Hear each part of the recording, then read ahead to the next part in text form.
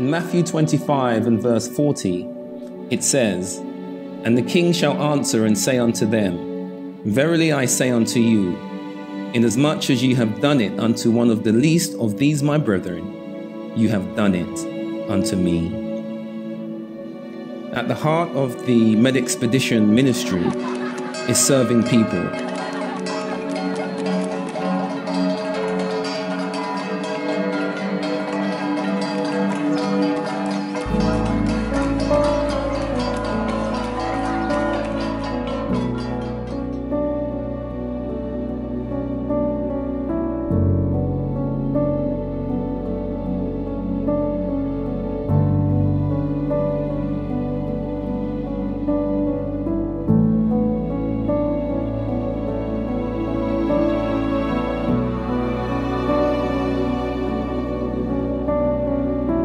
Jesus says if we serve people, we are actually serving Him.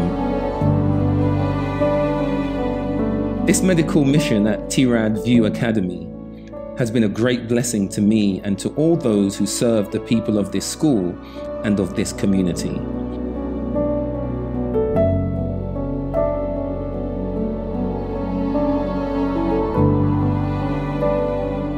My name is uh, Pangandian.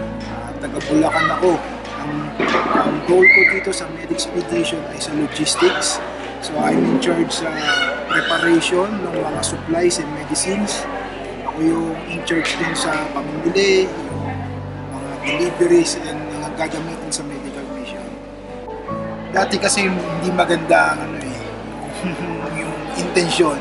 But through the years, pinakita sa akin ng Panginoon na somebody should step up na mag-serve sa tao ng kapalit.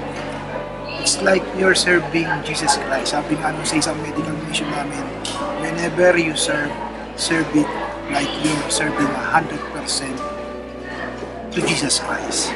So yun ang ano ko. So pag nakakapagsilbi tayo sa tao, natutuwa ako na parang you do it to the.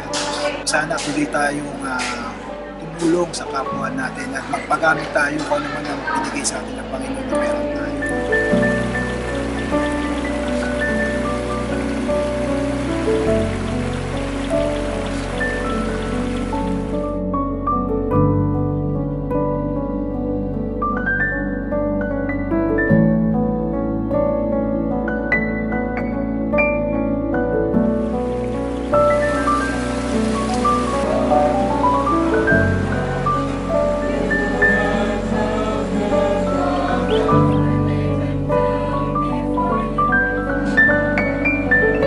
Our Creator.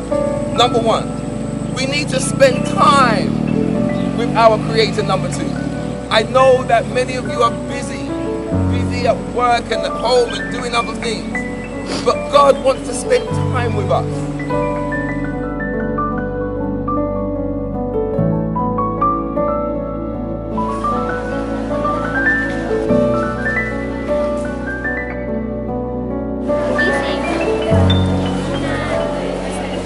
Ako ay si Tomas Estrada na isa sa mga nagtuturo dito sa Tirad View Academy. At sa grupo ng Med-Expedition, kami ay nagpapasalamat sapagkat ito ang kauna-unahan na medical team dito sa Quirino, Ilocos na maraming services na dinala. At nagpapasalamat kami sapagkat ang ah, ang Ministry of Healing ay dito na isentro sa akademyang ito para sa ganon ay makabahagi ang eskwelahan sa tulong ng medical expedition na makibahagi ang eskwelahan sa ating Ministry of Healing. Kaya sa Med Expedition team, kami buong pagpasalamat, buong nagpapasalamat at sa tulong ng Panginoon, ang pagpunta ng Med Expedition dito ay isang biyaya. Hindi lang sa eskwelahan, kundi para sa lahat at sa ikauunlad ng gawain ng Panginoon. Maraming salamat po.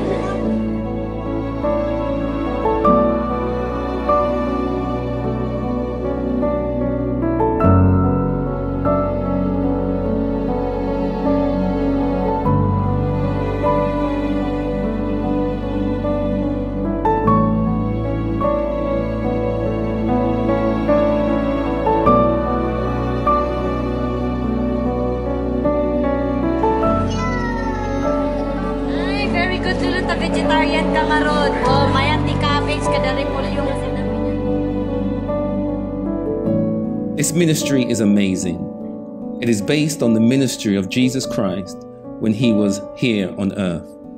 Jesus went around meeting the basic and physical needs of people and thereby opening the door to meet their spiritual needs as well. This is the purpose and the goal of the Med Expedition team.